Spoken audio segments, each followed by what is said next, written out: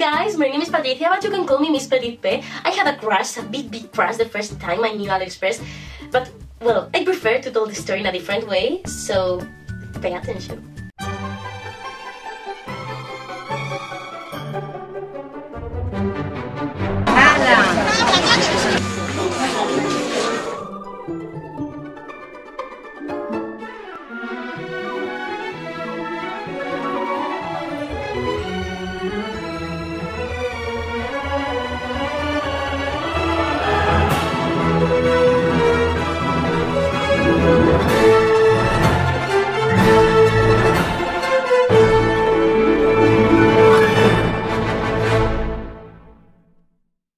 So this is my story and a little bit of who I am. If you like it, please give me your vote before leaving. I will be so, so thankful.